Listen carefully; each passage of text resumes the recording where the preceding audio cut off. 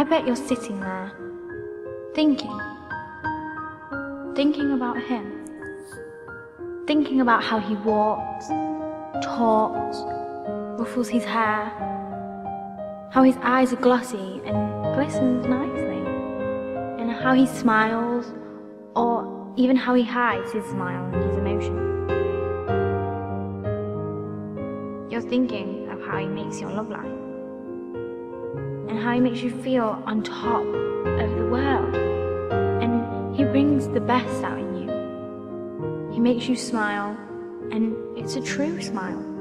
You don't have to fake it, it's real. I bet you want to be the reason for his smile.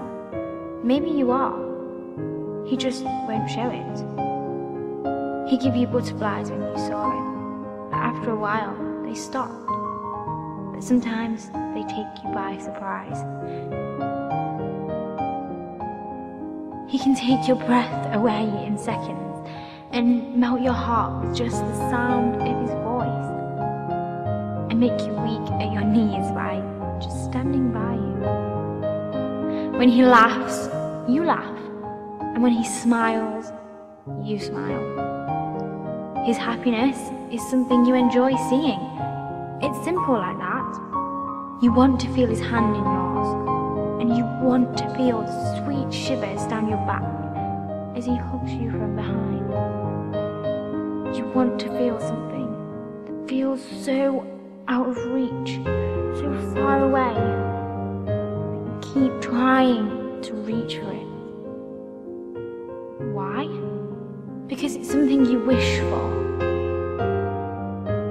You wish for all of this more than anything. He's your wish on a falling star. He's your wish keeping you happy. He's the one who doesn't know any of this, but you desperately want to tell him. But you can't. You wish you could grab him and tell him. Or straight out ask him for feelings. You're too scared.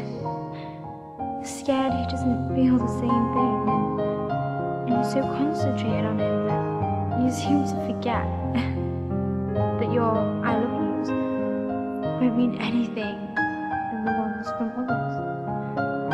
That you would just be considered a fan in his eyes and in the eyes of the world.